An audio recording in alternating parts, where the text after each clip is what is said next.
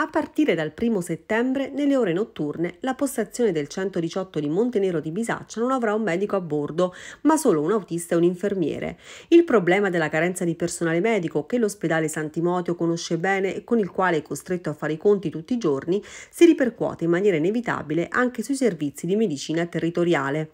La situazione di Montenero di Bisaccia però è simile a tante altre in Italia a causa dei tagli fatti alle postazioni del 118. L'assenza di un medico di notte a bordo della dell'ambulanza preoccupa e amareggia il sindaco Simona Contucci. Il 118 di Montenero copre una vasta area, la costa, lo svincolo dell'autostrada, una parte della Trignina, senza contare le aree interne, ha detto la Contucci. Insieme ad altri sindaci del territorio abbiamo interpellato il presidente della regione Francesco Roberti, aggiunto che sta facendo le sue verifiche, ma queste sono decisioni che dipendono dalla struttura commissariale. Sulla vicenda è intervenuto anche l'avvocato Vincenzo Iacovino che ha detto nei codici di intervento più gravi potrà intervenire intervenire la prima ambulanza medicalizzata utile per Tavenna, Mafalda, Petacciata e Montenero, che potrà essere quella di Termoli, che già opera per la città adriatica, Guglionesi, San Giacomo, Portocannone e Campomarino.